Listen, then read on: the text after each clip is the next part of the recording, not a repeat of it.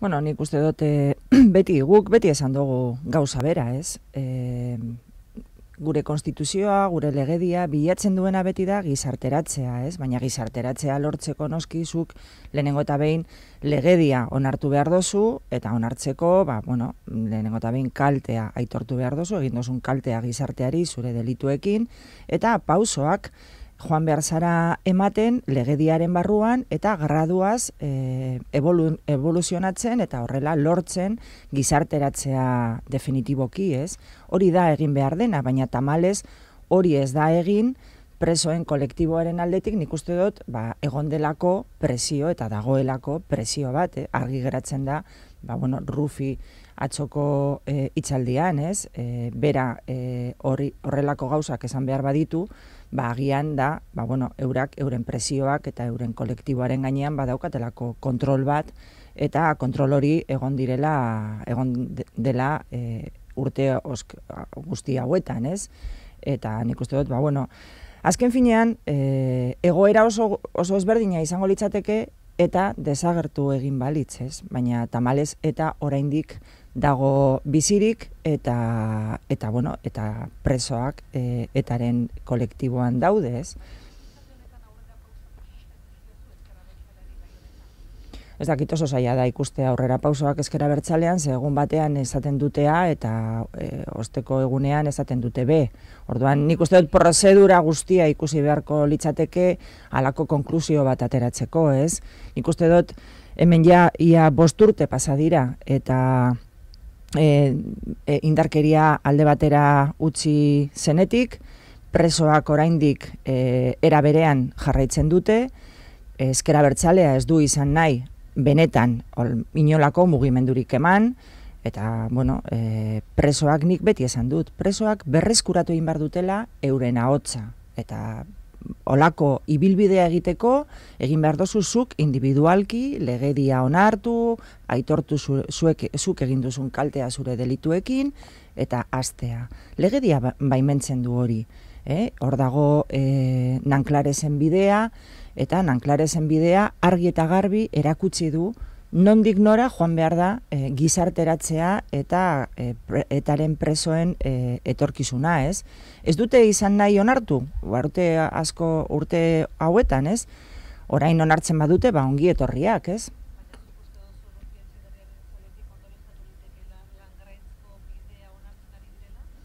Ez dakit, ez dakit, benetan.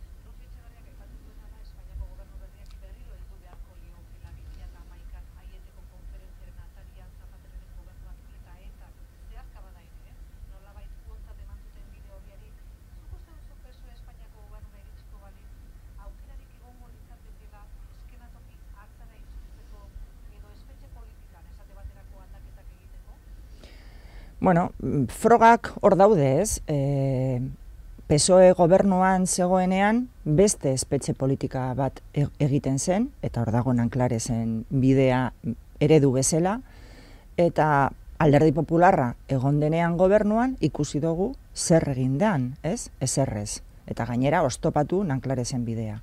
Bueno, argi dago, e, espetxe politika ezberdinak daukagula, baina argi eta garbi print, oinarrizko printzipioak zein diren baita ere, ez?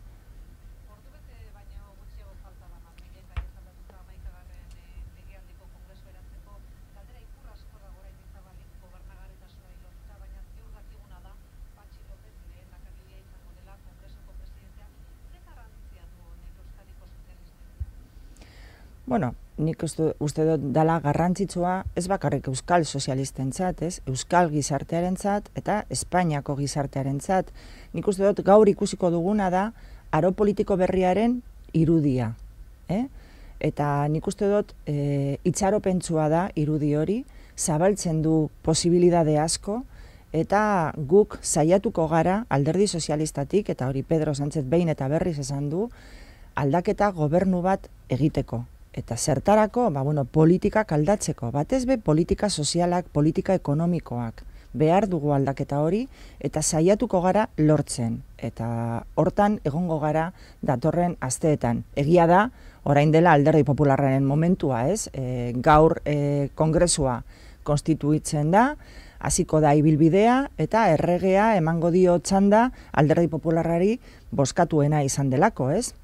Baina agian zailtasun asko ditu akordioak lortzeko. Bueno, gure guri txanda tokatzen zaigunean, saiatuko gara, behin eta berriz, benetan, mai gainean ipintzen, e, ba, bueno, aman komunean daukaguna hiru alderdi berrizteren aldekoak garenak, ez? edo agertu garenak kanpainan, ez? Hau da, Podemos, eh, Ciudadanos eta PSOE.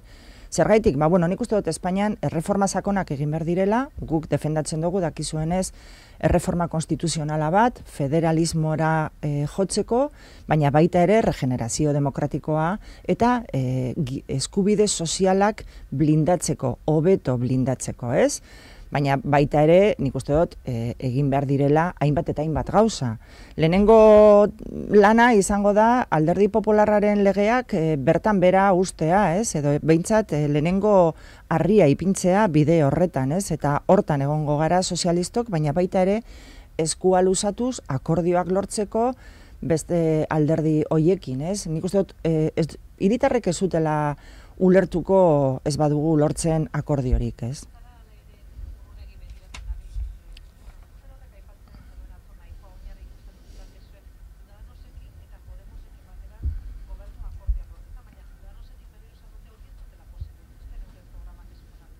Bueno, nik uste dut gauzak dekantazioa zuk esan duzun moduan, ez? Denbora behar dutela. Eta esan dudan moduan nik orain minutu bat, orain dela minutu bat, e, orain alderdi popularraren momentua da, ez? Bera da e, eskaino gehien lortu dituena eta bera saiatu behar da akordioak bilatzen. Baina nik uste dut, hiritarrek argi eta garbi esan dutela eta eskatzen dute aldaketa politiketan, ez? Eta baita ere ekonomian eta giro sozial bat behar dugu Espainian.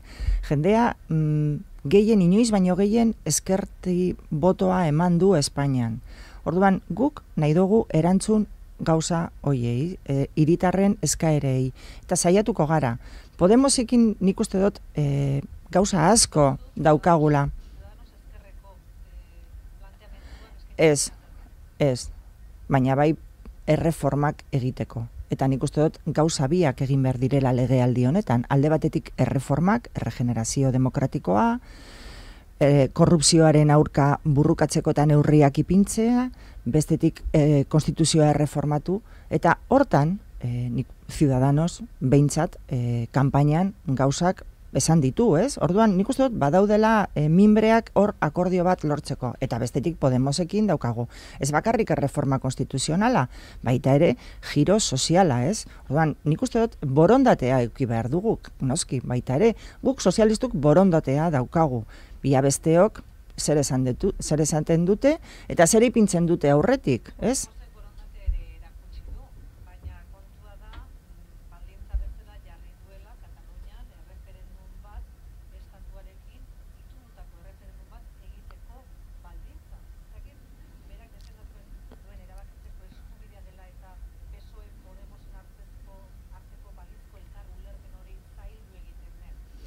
Eurak eh, azaldu beharko dute hori, ez? Edo lurraldetasuna ipintzen dozu aurretik, edo jendearen problemak, benetako problemak, hau da, fakturak eh, ordaintzea hilabetearen amaieran, jatea hilabetean, eh, eskola onak eukitea, osasun ona eukitea, edo guretzat eh, lehentasuna da, eh, premiazkoena da, ekonomia, giro soziala, bertan bera ustea hainbat eta hainbat erreforma politikoak egin direna pasadan legaldean, erreforma laborala adibidez, bertan bera ustea, ber legea, hainbat eta hainbat gauza.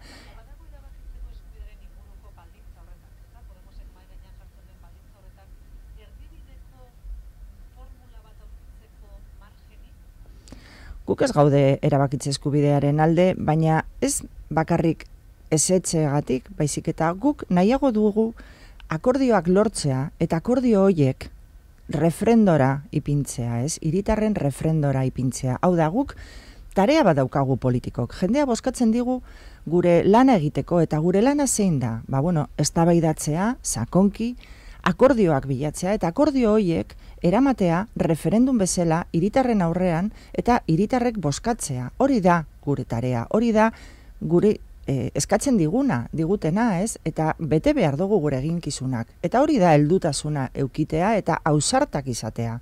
Claro, errezagoa da izkutatzea hiritarren atzean, baina guk e, uste dugu hemen garrantzitsuena da erreforma sakonak egitea konstituzioan. Aldatzea gure mod eredu ekonomikoa Espainian.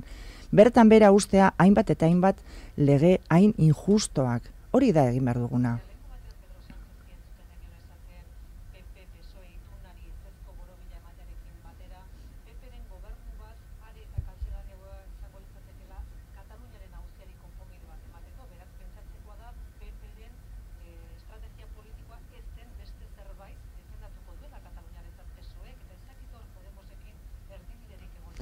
Bueno, guk gure proposamena argi dago. Beti esan dugu, guk nahi dugu e, lehenengo eta behin elkarrizketa politikoa e, mantendu. Ze guk ez dugu lertzen lehengo egunean atera zen Espainiako presidentea funtzioetan, Mariano Rajoik esanez, nik ez diot deituko Kataluniako presidenteare. Aldiz, Pedro Sánchez agertu zen esanez, nik deituko diot.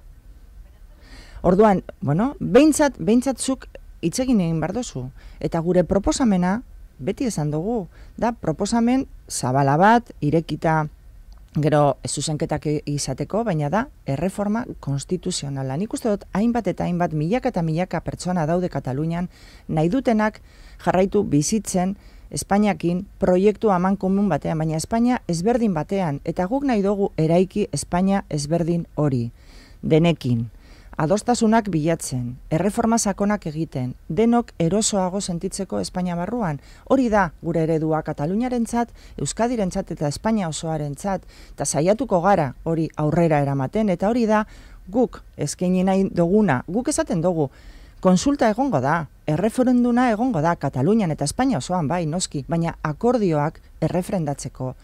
Guk daukagu tarea bat, berriz esan nahi dut, politikaren lehenengo mailako asignatura bat da.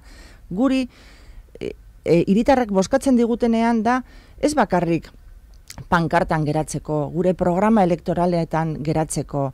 Hemen Euskadin asko dakigu horretaz. Hemen Euskadin hainbat eta hainbat urte beti oso anitzak izan gara. Inork hemen gure herrian euki du gehiengo absoluto bat nahi duena egiteko. Eta beti egon gara hor, akordioak egiten batekin bestekin gauzak aurrera eramaten, beti gauzak usten bidean, hori da akordioak lortzea. Bueno, e, guk saiatuko gara, baina eurak ere e, borondate auki beharko dute. Eurak aurretik ipintzen badute euren estrategi politikoa, bueno, eurak e, ikusiko dute, orain ikusi da, gaur ikusiko da kongresuan, ez?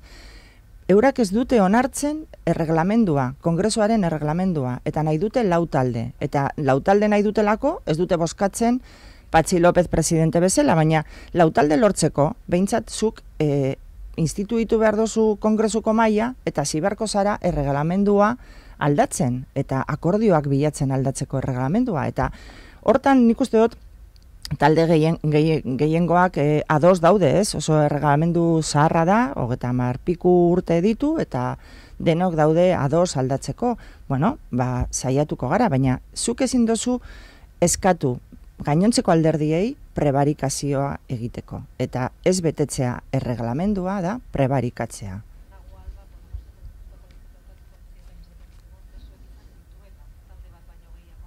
Bai, baina non, e, basadan legealdia, e, e, erreglamendu zaharrekin, ez? Atzo, irrati batean ipini zituzten, e, ez da ango ez da eman zenean, gu talde sozialistak, Euskal talde sozialista zegoen kongresuan, ez? Eta zegoen PSC-ko talde e, baita ere kongresuan, baina erregalamendua UCD zegoen gobernuan aldatu egin zen, Eta, bueno, naiz eta protestatu, ba, aldatu egin zen eta horrela geratu egin da, hogeta marpiku urten zehar, ez? Bueno, ba, belduko da momentua aldatzeko, modernizatzeko, hainbat eta hainbat gauza gainera sartu beharko litzateke e, kongresuko erreglamenduan, jendearen parte hartzea, gardentasuna, hainbat eta hainbat gauza gaur egungo munduan, ba, bueno, oso komunak direnak eta ez direla agertzen e, erreglamendu horretan, ez?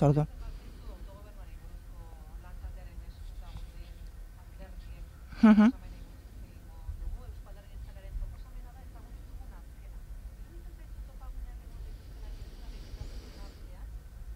Bueno, nik uste dute, guk gure lehentasuna esen izan hori legealdi honetan, ez? Guk uste dugu krisialdiaren barruan oraindik dago, dauden eraginen aurka e, burrukatu beharko dugula, hori izan da gure ardatza politikoa legealdi honetan denbora guztian, ez? Giro sozial bat egitea politika ekonomikoetan, politika sozialetan, hor dago etxe bizitzaren legea, eta hainbat eta hainbat neurriak guk aurrera eraman ditugunak, ez? Baina, bueno, PNV-ek eh, egin zuen hori beren ardatza, ez bakarrik legealdiaren ardatza, baita ere kanpaina elektoralaren ardatza, eta, bueno, guk adostu genuen eurekin e, ponentzia hori aurrera eramatea, bueno, valorazio bat egiteko, balantze politiko bat egiteko, autogobernuari buruz, bueno, nik uste dut, e, momentu aproposa izan zan, ez?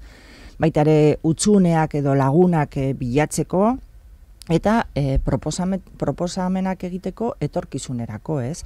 Hori da guk e, aurkeztu duguna atzo, baina begira, guretzat, e, eta momentu politiko, gauden momentu politiko honetan, garrantzitsuagoa da, edo behintzat gure prozeduraren e, eskeman, lehenengo da garrantzitsuena konstituzioa aldatzea, eta horrela lortzea guk autogobernu bat hobea, sakonagoa, erabilgarriagoa, iritarrentzat, ez? Azken finean guk zertarako nahi dugu guk sozialistok, zertarako nahi dugu autogobernu gehiago. Ba bueno, hobeto zerbitzeko gure iritarren, iritarrei, ez? Eta nik uste dute marko juridiko, daukagun marko juridiko gaur egun, ba bueno, zaiagoa da lortzea, ez? Hobeda federalismoa eta hainbat eta hainbat erreforma.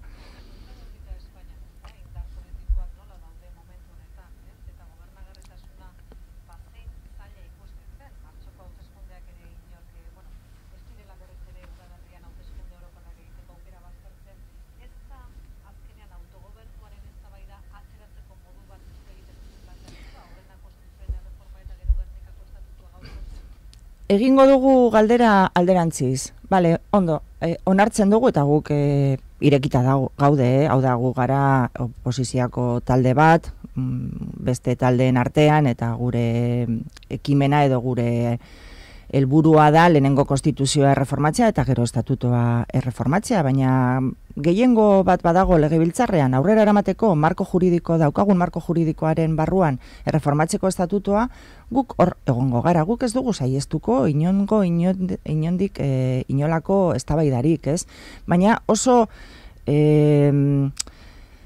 laburra izango da e, lor dezakegun erreforma, ez? Mm, orduan, zer, egin dezakegu erreforma bat, estatuto, Gernikako estatutuaren erreforma bat, daukagun konstituzioarekin, baina pentsa ezazun mm, la urte edo bi urte edo hiru urte barru lortzen dela Espainian akordio bat konstituzioa erreformatzeko, eta zer egiten dugu gure estatutoarekin? Berriz erreformatu? Ezin izango hobe ba, bueno, itxarotea apurtzuet eta lehenengoa, lehenengo saiatzea alderdi guztiak konstituzioaren erreforma on bat egitea, akordatu hortaz eta gero etortzea ona Euskadira eta saiatzea lortzen, ba, bueno, ez, benetako estatuto potente bat, hogeta bat garren menderako, hori da gure gure eskema, eh? baina guk e, zabali gaude, esan dudan moduan, azken finean gu gara beste talde bat, ez? Bai, hmm.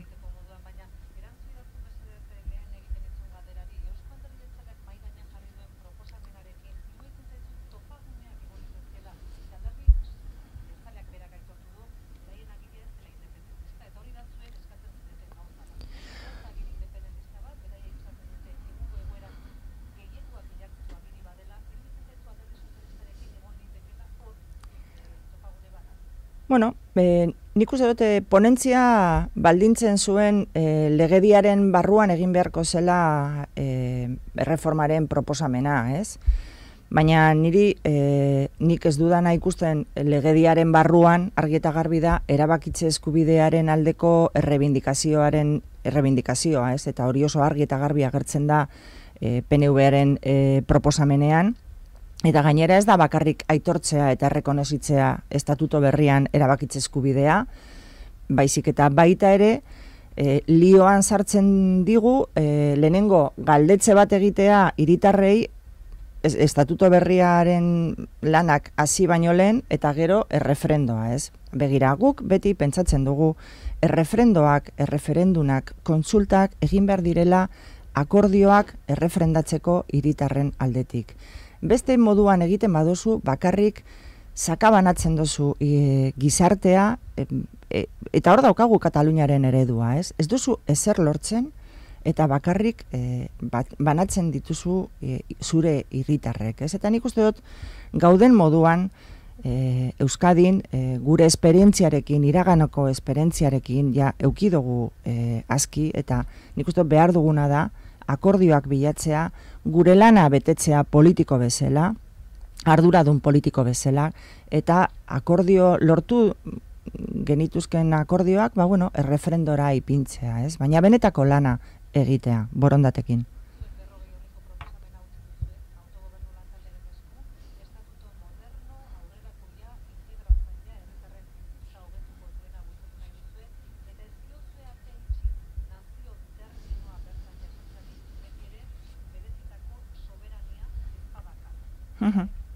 Bai, bueno, nik beti esaten dut, ez? Daukagun konstituzioan eta daukagun estatutoan gogoratu nahi dut, ez? Gernikako estatutoaren lehenengo hitzak zintzuk dira. Euskal Herria bere naziotasunaren adierazgarri dira, ez? Hoiek dira. Eta hori agertzen da, azken finean nazionalidad, eh, nazionalidadea, edo nazio esatea, zuzenbide konstituzionalean, doktrinan, gauza bera dira, baina Ez da gure helburu politikoa, baina guk ez dugu burruka nominalistarik egingo. Nik ulertzen dut abertzalenentzat e, nazio terminoa garrantzitsua dela eta guk ez daukagu inongo problemarik nazio terminoa ipintzea estatuto berrian e, noski ez badu tasunaren konnotazioarik eramaten, ez? Eta hori da mm, Europa mailan egiten dena, Europako kontseiluaren terminologian horrela erabiltzen da, eta gainera e, ba, mundua ikusten baduzu, milaka nazio daude, baina nazio batuetan adibidez bakarrik berreon estadu daude, ez? Hau da, nazio izatea ezaizu estadua egiten, ez?